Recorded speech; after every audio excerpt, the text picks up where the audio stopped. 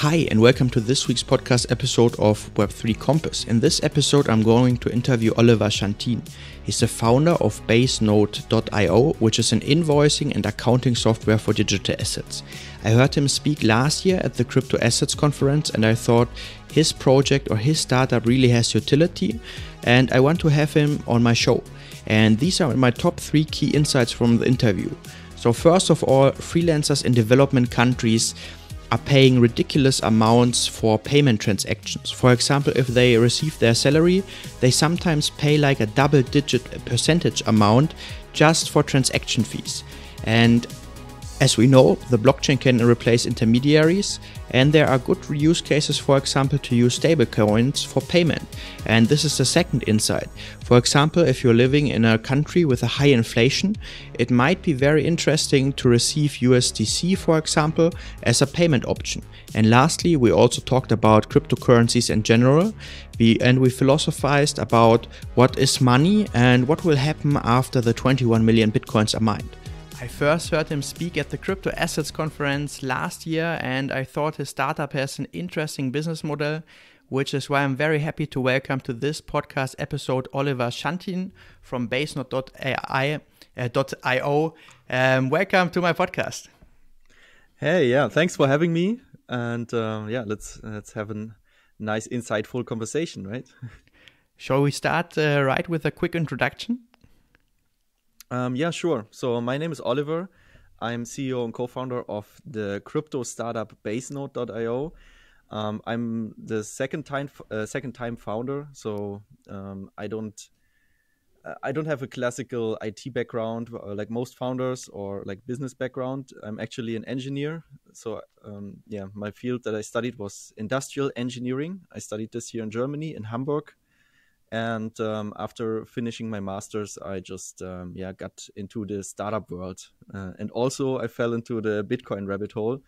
So yeah this is um, yeah quite unique combination maybe but uh, yeah then a few years later i moved to berlin where i'm currently also living where also my company is uh, located here. And um, yeah it's a short introduction. Very interesting background, and I think you also did a lot of with uh, a lot of stuff with uh, 3D printing, right? Right. Yeah. So after I finished my studies, I was working at the university, uh, university uh, in Hamburg, and there they had a blockchain research center, um, mm-hmm. and they still have the blockchain research center there.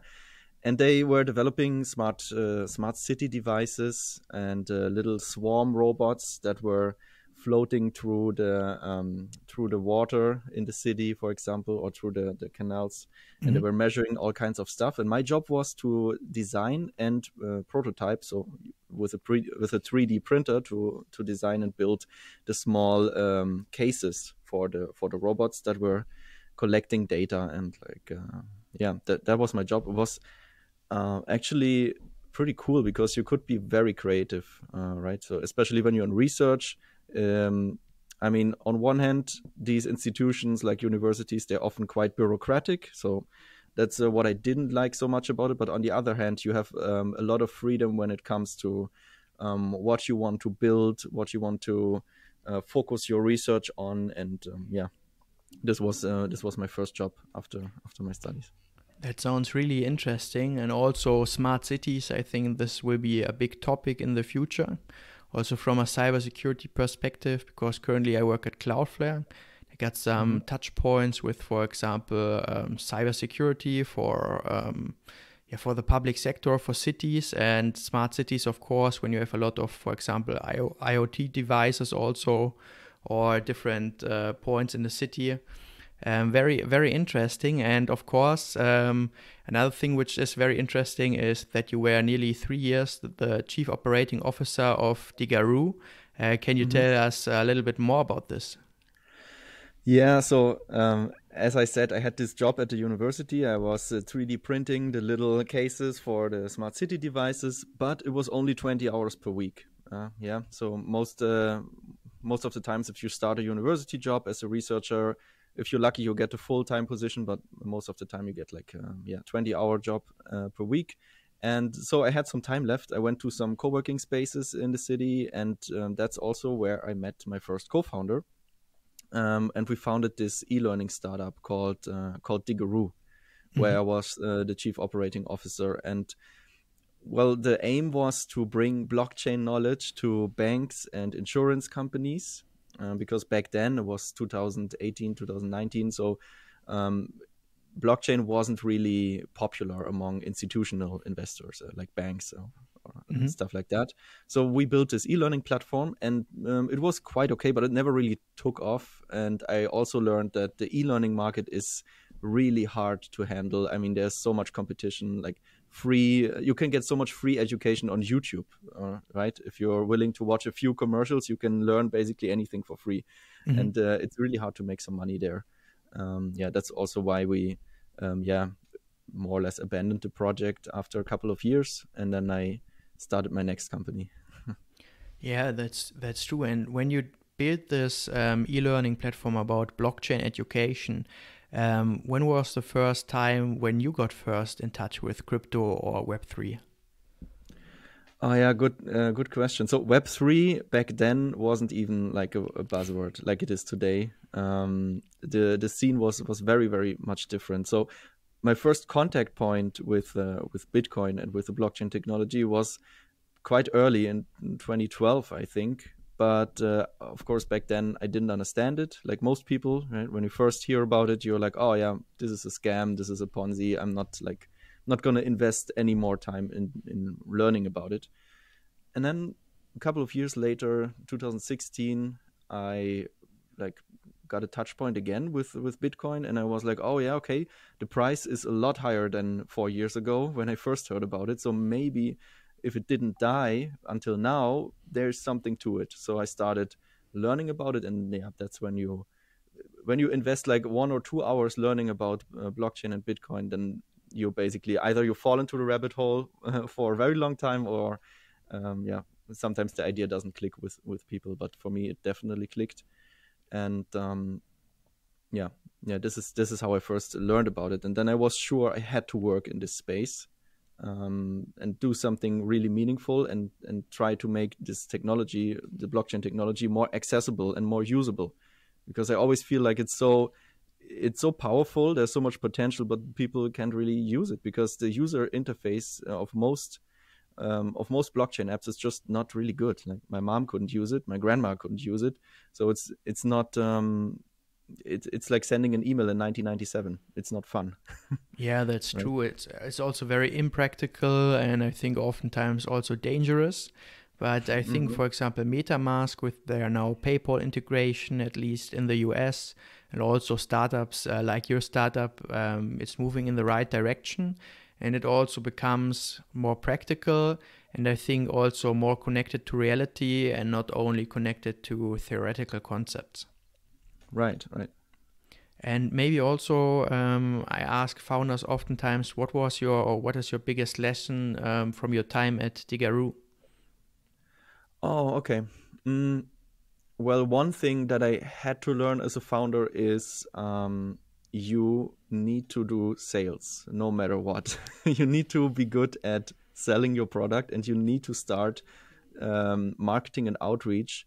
Not you you don't start it when your product is done and you're like, okay, now I can maybe sell it to people. No, you start way before that, right? So in the in the minute that you start prototyping uh, the MVP, that you have the idea, you know what problem you're going to solve, start the outreach. Like build a landing page, collect some emails, and um, basically every time you talk to someone about your idea or your product it's a test and it's also a test for your ability to sell stuff right? So if you're if you're forming a good narrative a good story around your product and um, you're you can train yourself. Every time someone asks hey what are you doing? What is your product about? you can train yourself and be get better and better at um, at basically telling your story and convincing people that uh, this is like what you're building is actually necessary and, and, and helping people. So, yeah, um, you know, I, I, was one of those founders who was actually so I'm more like an introvert usually, not very loud person.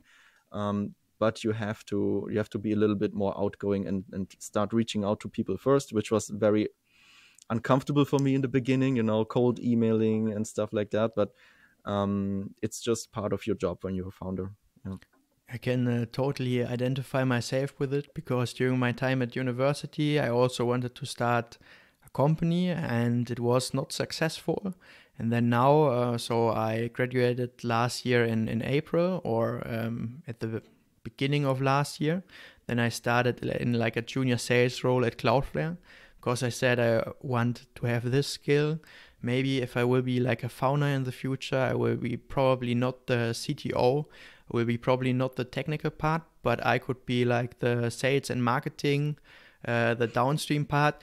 It's also amazing what I learned in my time right now. I'm now responsible to create leads for uh, more experienced sellers, so for account managers or account executives. And for example, there are so many different approaches. And for example, some people are doing a lot of cold calls. And um, I was now the last two quarters in probably the ton, uh, top 10% in the EMEA region. And I completely mm-hmm. switched my approach. And now I, I just basically just do cold emails. And this is uh, what works very well for me. And I think there are so many types or so many ways how you can sell, but you have to find your way. You have to be also comfortable with it because some people are very comfortable on the phone. I also have not a problem cold calling somebody, but I think oftentimes the people don't want to be cold called. And I'm mm-hmm. also not a fan of cold calling people. But when I just send somebody like an email, and maybe also give some valuable information to the person. This is more like my approach to get them into another meeting and to learn more about, for example, Cloudflare. Right, right. Yeah. I mean, an email is always like a little bit more polite because you're like, oh, yeah, you pick the time when you like want to read this. But a call is like, I need your time right now. Right. So yeah, it's, it's more, yeah, it's more direct.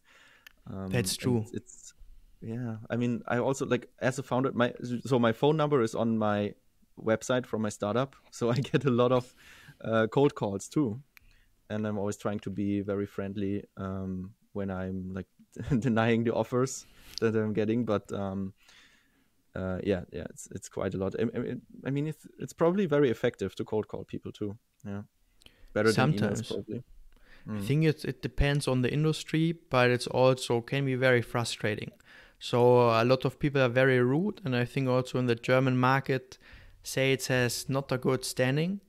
But yeah, I, I like uh, that you that you talked about it, and um, I also want to ask you, talking about entrepreneurship, was there like a specific point where you knew that you wanted to start a company? Because it seems like you had this clear path as an entrepreneur yeah, it was not a clear path at all.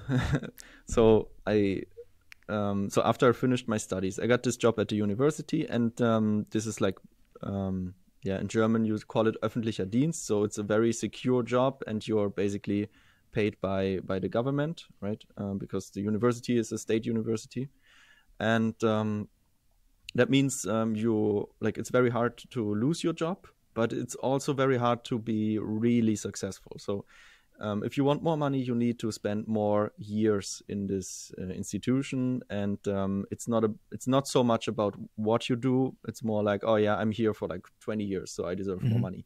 So it's not re- they're not measuring they're not measuring the output. They're measuring like the input. How many hours do you put in versus what's your result? So I didn't really like that mindset, and it always was like um, in in the back of my head. I was like, okay, something maybe this is not the right environment for me because I think I can do better if I get the right incentive structure around me. So, and I, I felt like it wasn't the case in in the university. And um, I mean, it was a nice time, but I knew that if I was in a in an environment where um, you where your output is measured and you're rewarded based on how much you do and how what you achieve, um, and not in how much time you spend achieving it, then um, it's probably better for me. So that's why I um, I left university. I actually quit my job there before I even knew what I wanted to do next.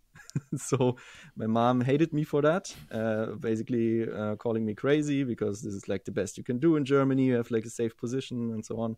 And I was like, no, it's not. Like I do. I, I want to do something else. I'm not really sure what yet, but um, so this was not a clear path for me at all to come to entrepreneurship. And then at some point I realized, okay, I I'm good at like managing people and I'm not so good in taking orders from others. So that's like a predetermined path a little bit. And um, yeah, then I just um, started. Um, so the first thing I tried was uh, just registering a business, which in Germany cost around 20 to 30 euros, and you can do it online. So it's really quick.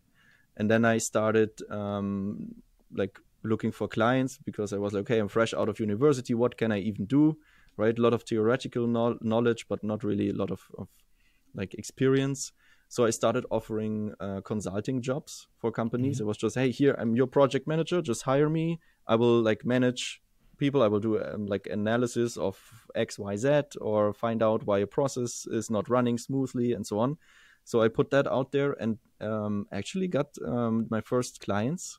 Mm-hmm. Um, like um, it was a print magazine company in Hamburg, and I was working for them. I was just like um, solving problems in the company and learning and yeah, so it is possible to just put yourself out there and, and start small and then learn how, how everything works, right? So. Mm. And then you started at the print company, and it was successful from the start. And you you had, I say, not too much experience about the media industry, but you were successful in optimizing their processes. Yeah. So of course, in the beginning, you don't make a lot of money, right? Um, but um, you have to play your advantage. And my advantage was I'm um, very good at like um, analyzing stuff and, and finding solutions. And I'm cheaper than a regular consulting agency. So these were yeah. my two selling points, basically. And uh, this is what you need to leverage then uh, to be successful. And this is what I did. Um, I didn't like in the beginning. I I earned like 20 euros per hour or something, mm-hmm. which is ridiculous for a consulting job, right? But I knew that I wasn't very experienced, and um, 20 euros is better than zero. Uh, so um, I was, yeah, I was quite successful with with that work, but it didn't really scale. So then mm-hmm. I was like, okay, I have to build something where I don't have to mix my own labor with my product in order to make money, right? So um, that's why we started uh, the Digeroo, the first startup, which was very scalable because it was an e-learning platform. So you produce content once and you can sell it a million times, right? So uh, we didn't sell it a million times, but uh, that's that's the idea. And um, yeah, then you then you learn more and more. Like scaling is not everything. Um, if you just um, pick a business model because it scales well, that's also not the right way to do it because uh, first of all, you need to be sure that you have a market fit and that you're actually solving a problem for someone who's also willing to pay money to solve this problem.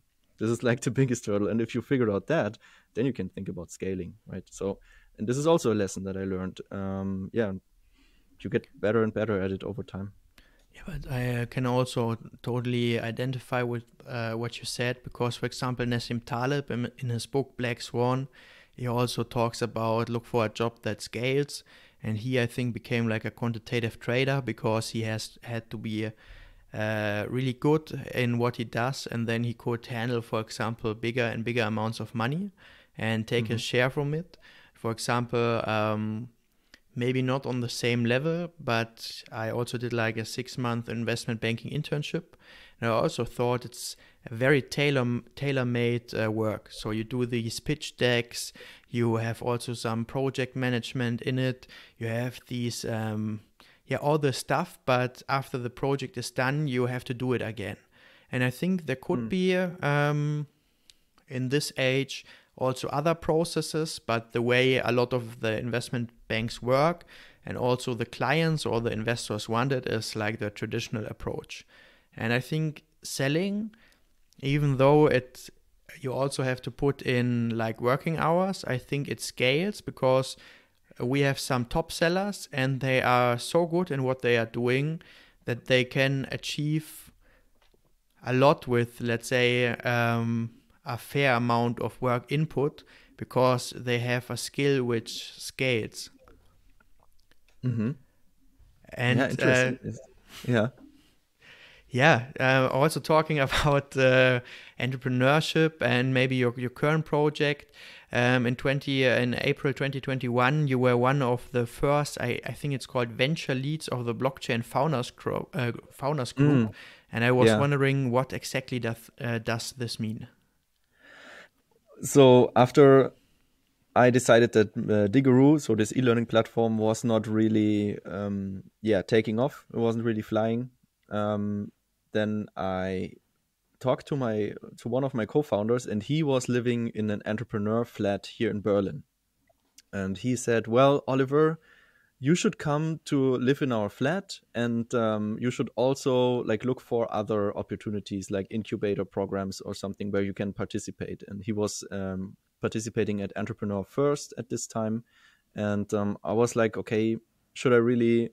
Like move because I lived in Hamburg for 10 years at this at this point so quite a long time and I was like okay move to Berlin. Um, most people have a very bad image of Berlin um, me too at this time. I was like ah should I really move to this to this city? Um, but um, yeah so in, in this entrepreneur flat people were um, using um, psychometrics to like determine who could live there which I never heard of before but it's it's quite interesting. So um, maybe you've heard of uh, MBTI types and stuff like that. So they were like, um, yeah, testing people, and they were like, okay, you're a good fit for our flat. You were not a good fit, fit, and so on. And they were like, uh, Oliver, you're like the uh, perfect fit. We are missing this type uh, among the other types that live here, and so on. And I was like, okay, let's try it out. And then I went there um, for like a weekend to like get to know the people, and uh, we actually clicked very well. So in this case, uh, this whole psychology, psychometric thing uh, really worked out, and uh, I was really clicking well with the other people. And then I decided, okay, let's do it. Let's get out of my comfort zone and just, um, yeah, move to to a different city. Um, and that's also when I got into Blockchain Founders Group because I came across their incubation program, and they were looking for people who are willing to build blockchain startups.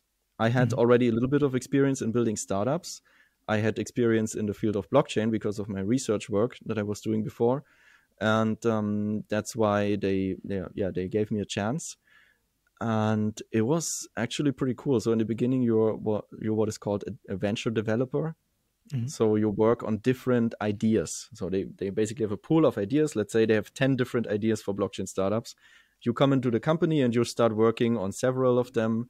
And um, if you perform well, you can maybe take a lead of a project and then um, yeah then it, it just goes that you build a pitch deck you try to pitch try to get some money build an mvp and all that stuff that uh, that you have to do to to get a startup running. And we were among um, the yeah one of the best ideas in the in the very first cohort of blockchain founders group. That's why we got um, yeah funding Mm-hmm. And um, that's why we started an actual company and actually hired people and then actually built a product. So getting the first funding was pretty tough because uh, I've like you know I've watched Shark Tank in the, in the TV, but I've never really pitched in front of uh, real investors and business angels. Um, so they they pose very tough questions to you. Mm-hmm. But um, yeah, we, we actually made it and, and got the got the funding back then. It was in January of uh, of last year.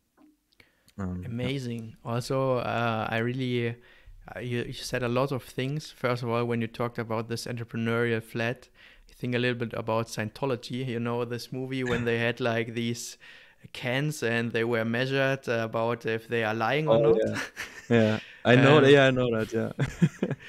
but uh, yeah, with with the with the blockchain founders group, are the ideas for the businesses are they like from from the blockchain founders group or do you um, go there and have your own ideas which you want to pursue?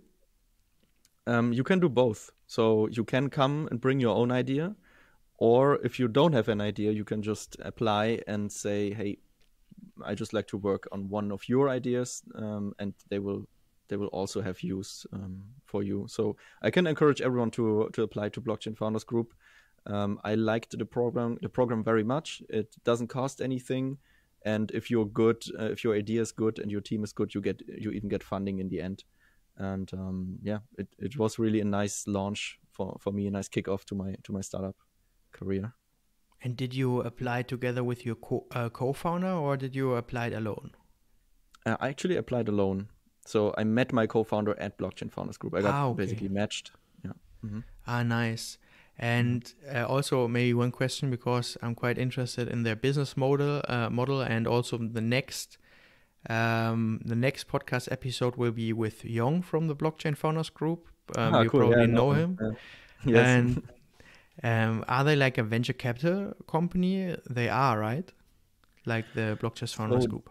Yeah, so first they are more like an, an incubator program, Mhm. Um, but they do have a venture capital branch, uh, which is uh, Blockchain Founders Capital. So it's like a separate entity, but they belong together, and they do also um, they um, they make venture investments in the in the companies sometimes, Mhm. um, if if you convince them. Um, but they're also very well connected to all kinds of venture funds and all kinds of business angels. So they, they, they have a huge network, and um, even if they don't fund you in the beginning, maybe um, they will, yeah, forward you to someone who will then fund you. So yeah.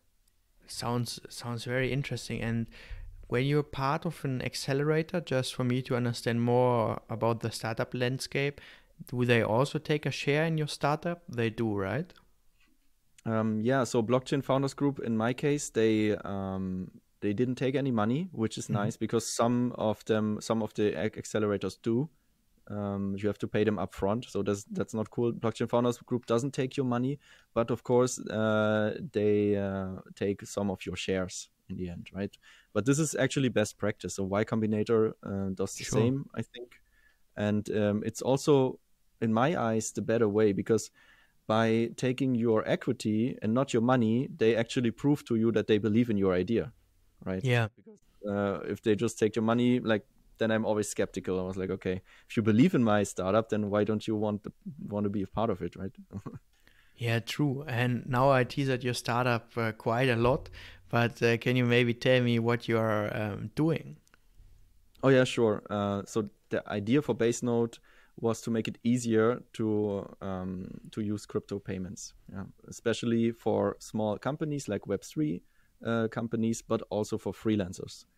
Um, in our research, we discovered that a lot of freelancers um, are located in emerging markets, yeah, especially Africa, um, Southeast Asia, um, and, and South America, for example. And they are often located in countries which have um, not a good banking system and which are underbanked. Mhm. And then we were thinking, okay, blockchain and especially stable coins, right? Stable coins uh, that represent, for example, the US dollar, they represent a huge, a huge leap forward, a huge uh, improvement over um, regular traditional bank payments. And we were like, okay, how can we make this more usable for for people um, in these countries? That's why we did, uh, developed BaseNode, where you can, on one hand, do accounting. If you're if you are a Web three company, you can do all the accounting, integrate your crypto assets to your QuickBooks, and so on. But more importantly, you can send out crypto invoices and pay people in crypto. Mhm. So uh, when you want to get paid in, it, let's say US dollar Tether, which is like uh, the most used stablecoin uh, on Ethereum, then you have to tell your clients, hey, I like to get paid in this coin, but uh, on this network because US dollar Tether exists on multiple networks, right? Also on Polygon, on, on Binance Chain, and so on. So you have to use the correct network, the correct token, and of course, if you are, let's say, writing your invoice in your local currency, then you have to make the conversion. And we do all of this in our app and make it super easy to get paid in crypto, in, in tokens and in stable coins. This is this is basically our main uh, feature. Yeah. It's it's uh, I really like it because I think it's it has utility and I have also to say I'm I'm quite crit- critical about a lot of Web three projects, but Mhm. after the crypto assets conference and I also did a podcast episode. Um, I also talked about your your startup uh, just for a short period of time, and I think Oh, cool. um, this gives like yeah it's it's it has like a utility. And also looking at countries for example turkey or um, also probably right now the european union with the high inflation. But of course there are even more extreme countries where the currency also um, loses a lot of value Um, I think this is quite an interesting idea because right now, if you could choose in which currency you would like to be paid, I, for example, I probably would use um, US dollar because they mm-hmm. have like uh, they raised their interest rate and I think the but you don't believe in the euro. You don't believe in the future of the euro. I, I, believe Just... in the future of the euro, but I think it's hard yeah. for the European Union because if you would now increase the interest rate to a certain point, probably countries like um, Italy or Greece would have um, a lot of trouble. So yeah, to be honest, I'm uh, a huge fan of um, this whole macro world and like looking at the broader picture and all that stuff. And I'm surprised. So I think in the eurozone we all we are like somewhere around two or three percent interest, right? Compared to US, which has like four four percent uh, interest rate. Um, I'm surprised that nothing major broke yet in the in the European Union because uh, yeah we we we are at zero percent for such a long time. Um, I'm I'm excited to see what this next year will bring now because uh, yeah I'm, I'm I'm like wondering how high will they have to raise the rates to like really contain inflation and also how high can they raise the rates uh, before yeah some European country gets into real trouble right uh, yeah true yeah. and uh, the problem I think is also with the wealth erosion um, so in in our generation to earn more money than our fathers, for example, or the parent generation did. And for example, maybe not speaking about um, every country, but let's take the the US as an example, but also Germany. With mm-hmm. the cost of living, it's it's insane. So I come from like a, a middle class family, but it was able for a certain amount of time um, that my father could sustain a whole family, and only he worked. And even though in Germany yeah. it's also a luxury, so um, also we're probably um, higher middle class. Of course, middle class is also a question of definition, as some Germans know. Some people are millionaires and they uh, say they are middle class. Um, mm. But you know, uh, right now I live in Munich. Uh, with the, the renting prices and also looking at, for example, healthy food, vegetables and stuff. Um, I think this is a, a, problem of our generation. Yeah, sure, and um, so healthy food and all that is is important. Uh, but what's like, let's say you want to buy a house, right? Yeah. In the future, let's say you want to get some like some real estate exposure. That's almost impossible now. If you like, you can inherit it, yeah, but if you just work and I mean, if you have like a scalable business model, okay, maybe then then it's possible if you but if you just work you know like from nine to five like a regular job um, you get a decent um, salary but um, i think if you if you earn more than 3000 euros a month don't quote me on that but i think then you're already in like the top 10% earners here in germany. Like uh, i mean of course uh, after taxes. Mm-hmm. so uh, and even if you're like in the top uh, top 10% earners like with 3000 euros a month it's it's like super hard to like let's pay your rent uh, like sustain uh, your your your life. Maybe you even have a kid. And then save enough money for for a house which costs i don't know in munich probably half a million euros or more. Yeah, more so, yeah. yeah or more. And like you can save basically until you're 60 years old.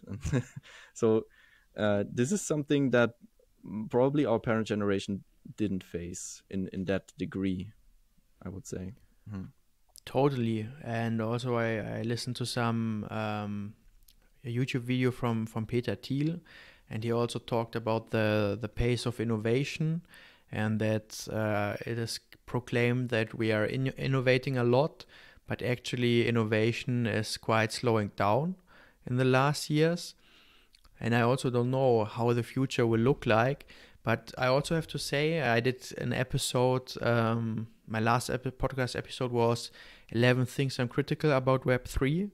And mm-hmm. I'm critical about that a lot of people in, in the crypto space have quite a negative attitude towards the state.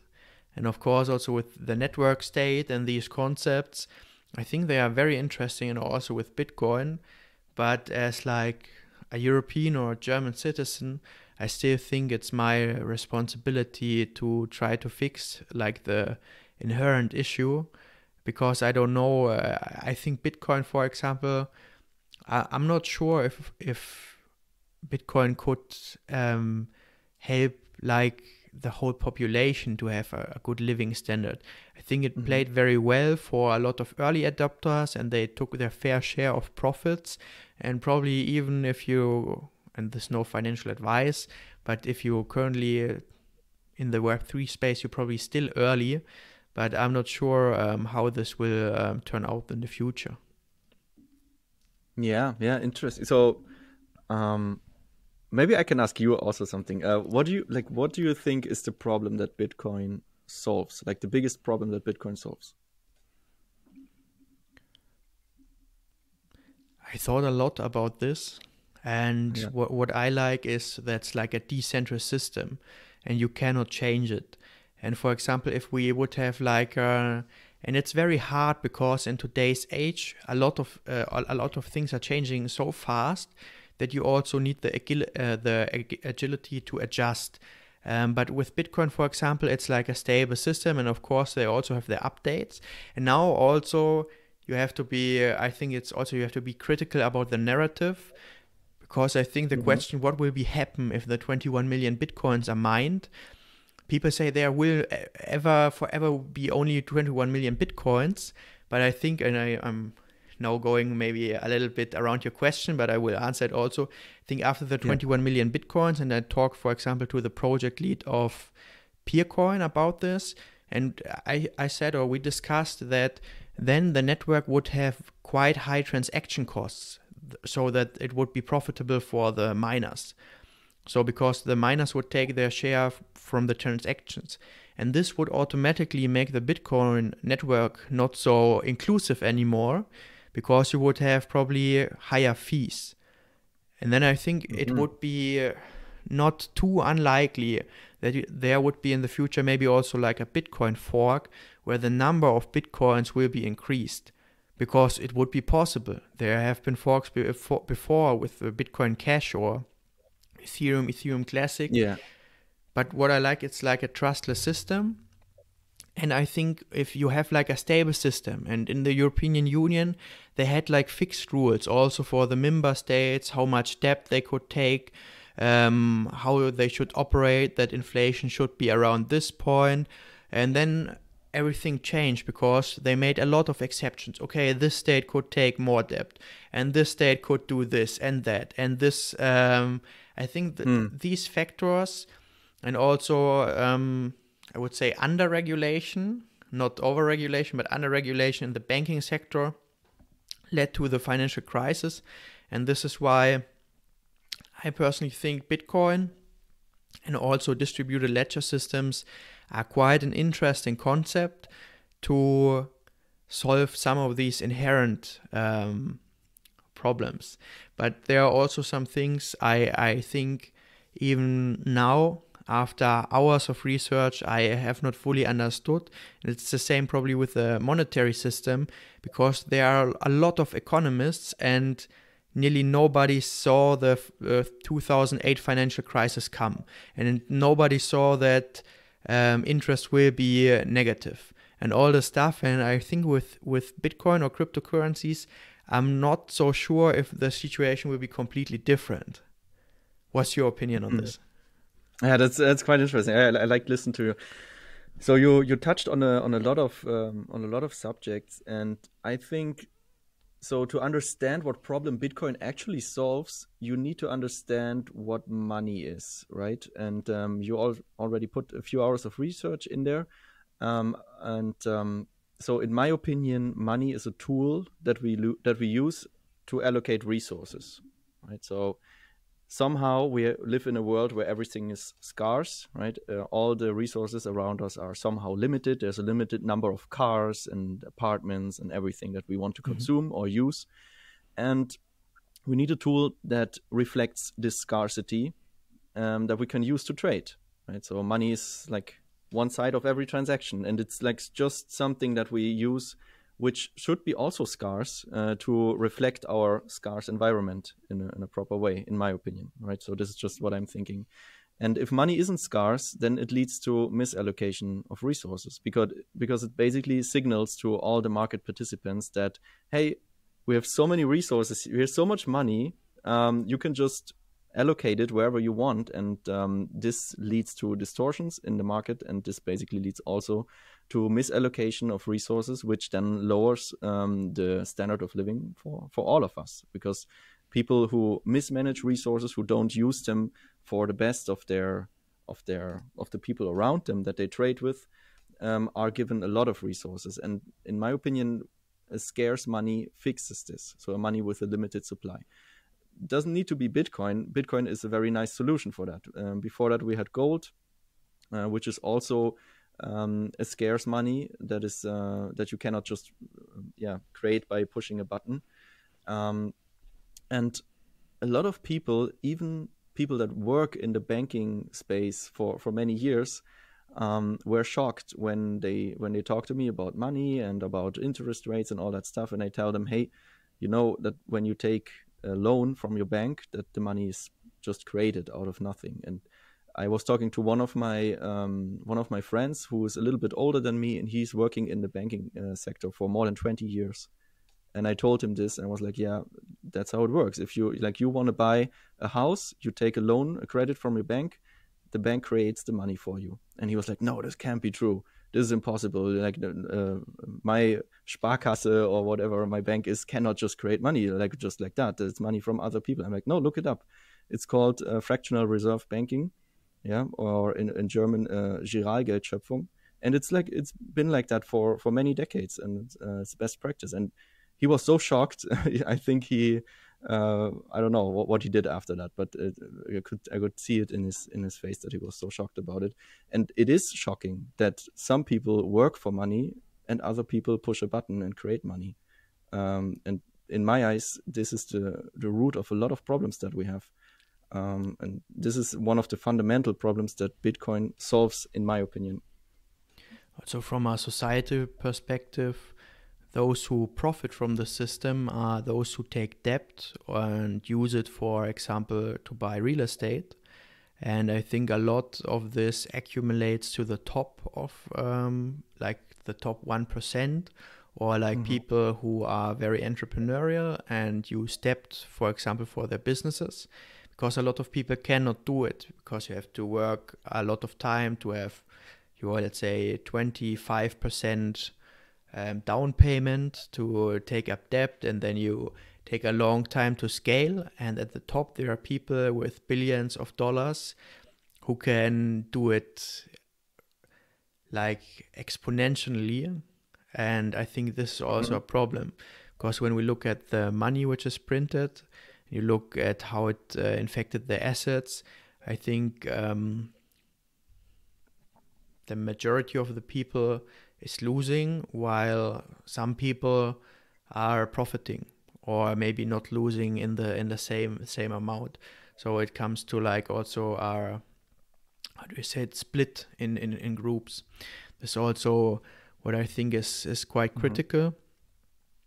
And there are of course theories. Uh, i read a lot of economic theories also where some people i, I don't know if it's nassim taleb but some economists said it's like the natural thing in human history is that um, wealth accumulated over time to a certain uh, amount of people. So, for example, if you have like the Roman Empire or any empire, there was like a very wealthy, very wealthy people at the top, and a lot of people um, down there. And like the middle class was something which was not really existing. But after, for example, World War II, a lot of things were destroyed and things had to be rebuilt. And for example, people at the top, a lot of them lost their fortune, and a lot of people started from zero, which enabled the middle class. And what we're seeing right now is, I would say, the extinction of the middle class, because those are the people also who cannot, who are not able to avoid taxes legally or illegally or whatever. I mean, a lot of these systems they are not even illegal. They might be unethical, but not illegal. Um, with all these tax heavens, but who is paying the taxes? And it's in most cases it's not the people at at the top, and also not the uh, global companies at the top who also, I think Scott Galloway published a book where he said, uh, I think the, the from the biggest um, US companies, now there's um, the line is crossed where more than 50% of them have profits in tax havens. Uh, hmm. havens. Mm. So, um, yeah. yeah, this is not a good development in my opinion. Yeah, I, would agree with you there. And um, to stay with the, so I, I really like this analogy from Saifedean Ammous. He said that taking credit from your bank is basically mining fiat money because you're creating new units of it together with your bank, of course, right? The bank takes a cut and you you get fresh money, freshly printed money. And let's say I want to get a credit from my bank. I'm not very rich, right? Um, and I go to the bank. I don't own any real estate, and the bank will probably give me no money. Or if they give me a credit, they will probably be like, "Yeah, but you pay ten percent interest or something because you are high risk uh, of of defaulting." But let's say I already have some real estate. If I own ten, um, yeah, 10 houses in, in Germany or in some city and I go to the bank and I post them as a collateral and I say, hey, give me a credit for my 11th house, then the bank will give me a credit for maybe 1% or 2% uh, interest rate. And this can be considered like the mining difficulty. So it's like people who already have a lot of assets, for them it's cheaper to create new money. And people who don't have a lot of assets, who start over fresh, they for, for them it's harder to create new money to mine new euros and dollars. So this is really unfair in my eyes. And it's it's like people who already own a lot of assets make the rules for everyone. And this is something in my eyes also that can be fixed by by bitcoin and by the blockchain technology. Um, because no matter no matter how many bitcoins you have you're not changing the rules of the network. It doesn't matter right? It, uh, so because they separated that from the um, yeah from the ones who hold the coins and from the ones who who create the rules of the network. And this is something that is maybe missing in our in our system too. But still um, you could argue that those who have a lot of assets could buy with this money mining power and yeah. then in in the end also change the rules to to their benefit they could try yeah they could try but it's not that easy so you can try to buy up all the miners, but someone has to sell it to them to, to you, right? So or you have to build them, but that's that takes a lot of time and uh, the the marginal cost is, is pretty high of, of buying all the miners or at least more than half of it because that's what you will need. Um, and even if you have if you even if you manage to buy that amount of, of, of miners and you get a lot of hash rate, then you compete against uh, all the people in the world who are also mining. And even if you manage to to attack the network this way, uh, which has uh, so far not happened, then this position of power is not permanent because better mining machines will be built and you need to buy them too. You need to upgrade your equipment constantly. You need to find cheap sources of energy constantly and you need to keep up to date and actually interact with the with the real world in order to stay the top miner with the most hash power. If you are in a proof of stake system, then this is not the case. And if you are in the fiat system, this is certainly not the case because once you are, um, yeah, the one who makes the rules for the money, then yeah, who who will stop you, right? It's it's not yeah. possible.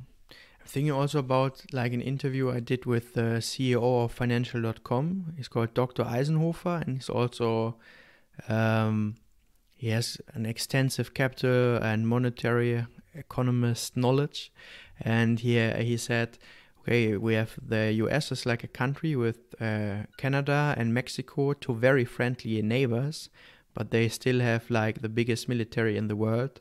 Of course, mm. they they also want to have a strong currency, and um, these days I'm, I'm reflecting a lot of, of this because I'm I'm a fan of let's say Western values, not not everything. Yeah.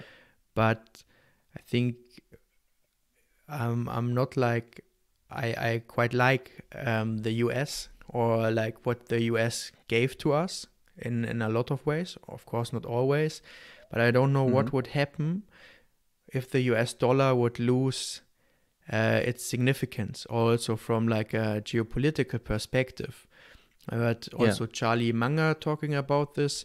I just don't know it. I can't. I cannot also answer it. But there's uh, there's a correlation um, when you see like the the most influential um, countries and the um, their currency as a reserve currency. There's a nice chart. Was always like when uh, the most countries use, for example, the Great British Pound as a reserve currency. It was like the the peak, or probably at this range, it was the peak of influence of the British Empire. And I think also I I, I will have to look up this chart. Don't want to say anything wrong, but mm-hmm. I think uh, right now you also see like a declining influence of the US dollar. And I don't know what uh, this would mean for the future. And yeah, but but still, I also quite interesting crypto. I also thought about what would happen, for example, if like a state like China or the US would want to attack Bitcoin. Uh, of course, right now, I think Bitcoin is not a currency. I think it's a digital store of value. I, I see it as some form of digital gold. Mm-hmm. But what would happen if a country would use just a fraction, and in the US, it has just to be a fractional amount of their military spending to buy like mining equipment or buy servers from, from other existing companies to, for example, attack the Bitcoin network? And I, I, I have no answer to that. That's interesting, and I, I liked what you said in the beginning that they have the biggest military. They're basically everywhere in the world, right, with the, with the army. But um, do you think this military is necessary to, or is it correlated to the power of the dollar? You you need uh, like, are you saying that you need this kind of military equipment to protect um, to protect the dollar too? I think so. I I, I yeah, think probably, right? it's it's yeah. not only the military, but I think it's the overall influence.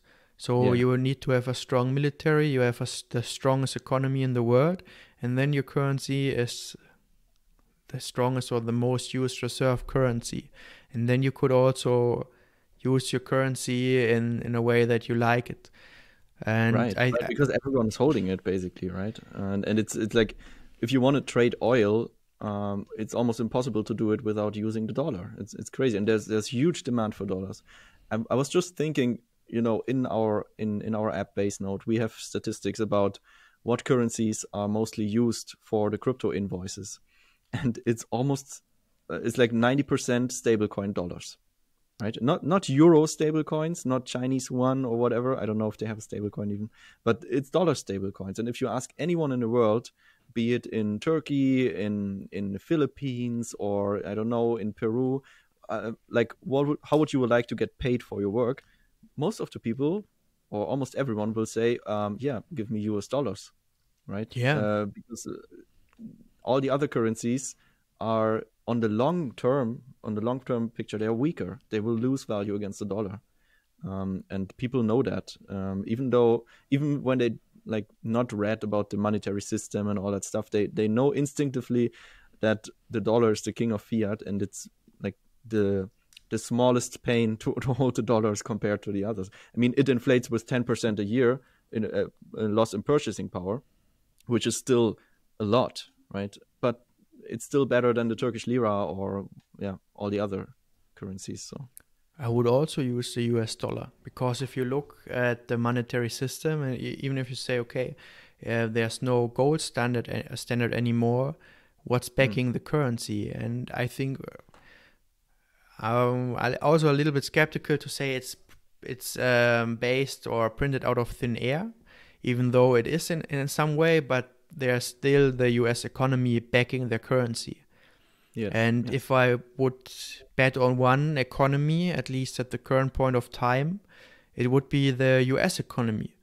Because Definitely, I think yeah. they attract mm. all the talent in the world and they attract the best people from all over the globe. And they have like mm. incredibly, uh, uh, incredibly um, entrepreneurial a nation. And I think not everything about the US is great, but at least from this perspective, it is probably the still the country of entrepreneurs.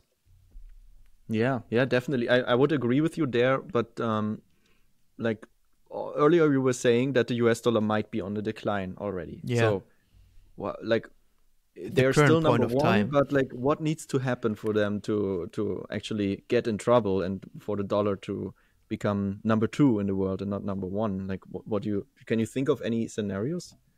Right How now, we we had like the the war in Ukraine, and um, with the SWIFT you think system, this is threatening the the U.S. dollar. This war, yeah, because yeah. It, it it affects the U.S. dollar because people see if they have, for example, uh, currencies in in other countries, there there's the possibility that these assets will be frozen, and right, I think. Right. Uh, a lot of countries, even if you look at the the, the war in Ukraine and you look at um, at statistics or which countries were very in, in the beginning, maybe not now, but in the beginning of the war, I saw some like a world map and there were like countries um, um, backing the war or, or countries having no opinion about this and mm-hmm. um, not taking a state uh, a stand about this and it was quite crazy how the world was split you have these classical the western bloc with us canada the european Union and Japan, South Korea, um, and then also um, Australia and uh, yeah. New Zealand.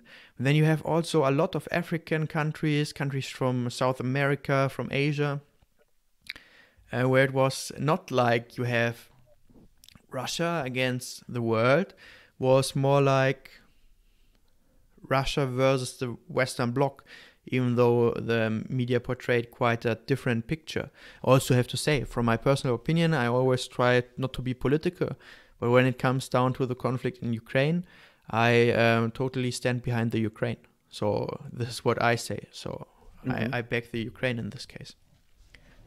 Yeah, it's it's super interesting because who would you trust to like store your value? For, like, um, like, do you trust Russia to not devalue the ruble? I wouldn't, right? Do you trust the Chinese to not devalue their local currency? No. So the dollar is still the best option. Yeah, yeah. And I can see that what you said earlier, like the U.S. freezing assets of other countries, is actually weakening the dollar, maybe more than they realize, because this is uh, like this is a, sh- a shift in in a paradigm because suddenly you realize, hey, this is not independent like this this money is not independent. It's it's actually you need to be friendly to the US in order to them not taking your stuff. And this is a signal I don't know if they if they realized how strong of a signal that that was to the rest of the world like when they seized the assets from from Russia even though it was probably justified to do so but other countries see this and they realize well right now I'm like on friendly terms with the US, but I could be next, right? So I think it was not only the, the, US; it was like the Western Bloc versus yeah. it is like more or less one connected system. Maybe one some countries mm. connected stronger together. The UK with the US uh, have probably one of the closest connections. Maybe also with some other states like Australia, and they also have like their uh, how do you say it the and their national security. They work very close together. Yeah, probably, stuff. Yeah. Yeah, but, but also what I was wondering, what I wanted to ask you about your software. Um, why, and, and this is quite a natural question, but why do people, for example, prefer stable coins or, well, let's say, actual dollars? Um, well, they would prefer actual dollars, but if you are living, let's say, in uh, in Nigeria, um, then it's not that easy to get actual dollars, right? Your only option would be cash, but mm-hmm. physical dollars uh, are hard to come by, and um, most banks don't don't just give them away like that. So you will have to first of all you need a bank account and you need to drive to your bank, which is not like here in Germany, just like a few hundred meters, but maybe you have to drive to the next city or something. Try to pick up the physical cash. Um, if if they give you even dollars, they probably give you the local currency uh, which is uh, inflating away. and um, so the next best solution is virtual dollars that anyone can hold on your on, on their phone, right? And we have this technology. Um, of course, there are risks um, also um, attached to that, right? So you have to you have some trusted party, right? Like like uh, Circle or Tether, um, and um, of course you can like you have to secure your phone, all that stuff. But it's still better than uh, getting paid in in a local currency, which loses value like crazy. Uh, it's still better um, than hoarding cash in your in your apartment, uh, which is risky. So holding virtual dollars on your phone is actually a real game changer, I think, for, for a lot of people. And, and here I also have to uh, dig also again a little bit deeper. When I would compare your software to, for example, Upwork. For example, I worked in the past with Upwork for freelancers, mm-hmm. and there's the point I worked also pro- most times with with uh, freelancers from Germany, but also from India, and I paid them, and I think I got also the invoice in dollars, but I don't know how the freelancer got paid. Do you know if it's typical for Upwork and Fiverr to pay the people in their country's currency or to pay them in dollar? Mm, yeah, and so most of these um, platforms they make money because they control the payment process, right? Mm-hmm. So they take I don't know twenty, maybe twenty five percent of the of the salary of the freelancer, and that's how they that's that's their business model basically. Mm-hmm. Um, and I don't know if the if the currency is converted, but I would I would suggest uh, that the, that is probably converted because we were also hiring people around the globe, um, and when we were paying them, um, we are using either we are paying uh, we are paying them in stable coins using our own software, but mm-hmm. not every freelancer is like savvy with like wallets, and not everyone wants stable coins. So the others we just paid with um, with Wise or um, yeah PayPal if it's possible, but it's not in every country. Mm-hmm. Um, and then usually it's converted into the local currency because um, you cannot just hold US dollars uh, in your PayPal account if your uh, residence country is India, for example, right? Ah, no, um, I get it because I'm I'm comparing always existing solutions to um, to what Web3 startups are building, for example. And if we would have, for example, a company, let's say just a fiat company, or even your company, you could probably also do invoicing with, with fiat currency. And you would pay, for example, freelancers in, in India also in, in, let's say, US dollars. Then you, of course, have would have to have like a bank account or something like that. And yeah. now you do it directly over the wallet.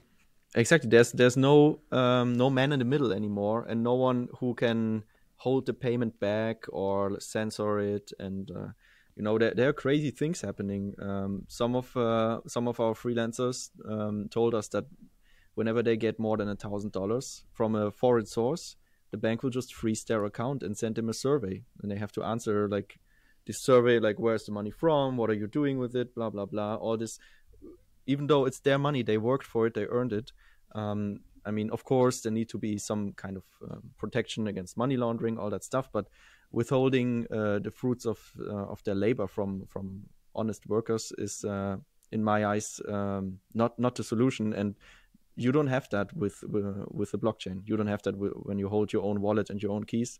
No one can stop um, people paying you.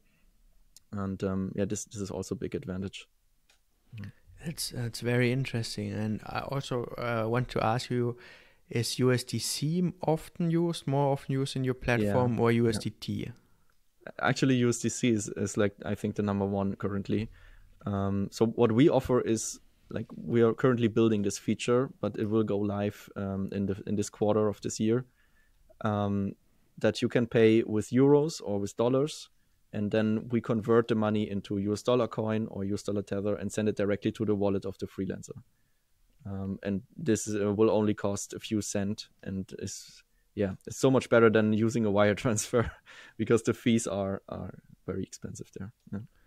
It's also very very interesting and also thinking about other cryptocurrencies like Bitcoin or Ethereum. I thought what I really like about Basenode.io and, for example, credit cards that let you pay with crypto is that through you, and even though you might be also an intermediary when you would pay with Bitcoin, or let's take maybe not you, uh, but for example, uh, those credit card companies, which will mm. also take their share. Um, but then you could pay with Bitcoin, and Bitcoin then becomes like from a form of digital gold really a currency in in another way but i think what you are saying with like the um, digital like with um, usdc and usdt um, it's it's quite interesting that these currencies are used and also thinking about what would happen when we have like central bank digital currency, you would have you could also u- use it for your platform, right? Probably. Probably, yeah, yeah, probably. I mean, if they manage to uh, release it someday, then uh, we are happy to to integrate that too. I mean, we we're just building what what people demand, and um, yeah, so right now, not a lot of people want to get paid in in Bitcoin unless you're like a Bitcoin maxi who calculates everything in satoshis. Then yeah, you can also use uh, our product to get paid in satoshis, but most people want dollars, right? Because everything is priced in dollars. And if there is a CBDC at some point, sure, we can like we can of course also integrate it. Um, but uh, I don't know. I'm like a bit skeptical of CBDCs to be honest. Uh, um, but yeah, let, us see what the future brings. I mean, maybe in my eyes, CBDCs are a little bit kind of a solution looking for a problem. you know what I mean? Uh, but um, yeah, yeah, we, we, we will see. Depends. I, I, my opinion depends strongly how it will be implemented. So if it uh, if there are certain standards which are kept, I think it can be very interesting to, for example, use also DeFi protocols with CBDC. And then I I personally would rather have the European Central Bank behind my currency than Tether because I hmm. don't mm. uh, trust Tether. I think yeah. uh, they are very shady. Uh, I also don't trust their corporate network, and I don't also trust Terra Luna, or of course Circle seems, to be fair, seems quite um, legit to me. Also, no financial advice, so um, this is the stablecoin I would trust the most. But if I would um, have to place my trust in like a corporation or into at this point of, of time. I also have to say it's a privilege to live in the european union right? So there are probably uh, dozens of countries where i would rather have like a very well managed um, very well governed private organization. Uh, i would trust it more than than my state. But living in the european union or from the us i would probably trust the, the central bank digital currency more but the topic of privacy is a whole another one, maybe for another podcast episode. yeah, I would love to. I mean, you, you're making a very good point. Uh, so, who would you trust more? Like some entity that creates virtual dollars and uh, it's just like, okay, trust me, bro, I have enough dollars for everyone if you want to cash out. Or would you go to an entity who creates virtual dollars, who actually has a money printer in the back and in case they act, they would run out of of uh, real dollar, they, they, will just print more. So yeah, a central bank is in this case probably the better stablecoin issuer than some Tether or Circle company, right? Yeah. Probably because they cannot go bankrupt. That's that's the point, right? If it if if it's well governed, I think it could be also interesting to have like a fully open source. I, I I'm not too in too involved with Circle, so I don't know how they do it. Mm. But if they would publish all the reports and if Tether would uh, make the book open and they would say, okay, we have, I don't know, 60 billion dollars and we have it in bonds and we have it in a very con- conservative um, portfolio and maybe we hold 30% of this portfolio in cash, then I would say, okay, it might be legit, but they also would have to be like a good asset manager, but they don't even um, have legit audits, in my opinion. So right yeah. now, even though the um, European Central Bank could print money out of thin air, there's still the um, the European uh, economy backing this. Right, right. Yeah, I, I agree with that. Yeah. Mm-hmm. Maybe one final question to wrap up um, is a question about the future. Where do you see Web3 in five years, so in 2028? In, okay, in five years. Um, well, so Web3, I'm not really sure if it's, you know, it's it, maybe it's one of those buzzwords where they're like, okay, web 2 you can like interact with content. Web 3 you can own content and it's like the new paradigm. Maybe maybe i'm not sure. So we have these hype cycles and even back then when i entered the crypto space 2016 2017 was crazy hype year. And back then we already got nfts yeah? Back in 2017 we had CryptoKitties one of ah, the yeah, first yeah. nft projects right? So and then they died, and today no one talks about them anymore. And uh, all these all these altcoin projects and NFT projects from from uh, 17 died. Then we had like this winter, and then some new projects came back, right? So I'm not really sure if Web three um, is like a seasonal thing, right? Um, yeah. Or if it's really here to stay, um, because this, uh, yeah, it's it's hard to tell actually. I mean, do people want to own digital assets in in a way that Web Web three ch- suggests? Um, maybe, probably, but I'm not like hundred percent sure that it's the case. So uh, either it's gone or it's super popular, but I think there's no no way between. So my prediction would be Web three can be super popular and like very commonly used in the future. Um, maybe we just don't call it Web three anymore because I mean I don't call Facebook Web two. I just call it Facebook, right? So we will have apps on top of it um, that will just naturally integrate the ownership of assets and of user data and all that stuff without even telling you they're using a blockchain in the, in the background, right? Yeah, that's so very that's, interesting. That's yeah. I, I, I am um, commenting on this. I think it will be part of the existing web. I see Web three not as like the totally blockchain based web, but more like the next stage of the web. And of course, it's a question of definition. I define it a little bit for my own, but I think there are good use cases where current let's say the web 2 will be enhanced by blockchain mm-hmm. technology but i think it will not replace a lot of the cloud infrastructure uh, because of the blockchain trilemma and blockchain is of course not the solution for everything but if you have for example the ipfs network or other uh, infrastructure services i think there are some good use cases which will persist in the future and maybe it will also be like a like blockchain technology will be a quite considerable share of the web um, in the future. Yeah, yeah. Let's hope so. Let's let's uh, let's hope so. Uh-huh. So say, thank you very much, Oliver, for being on my show. It was a pleasure.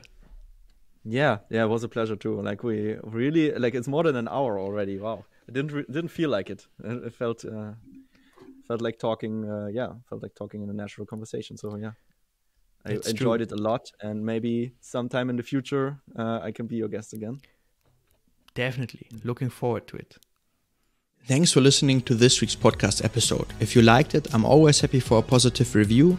And if you're watching on YouTube, you could subscribe to my YouTube channel and give me also here a thumbs up because it would really help me to grow my audience and to increase also the quality of the show.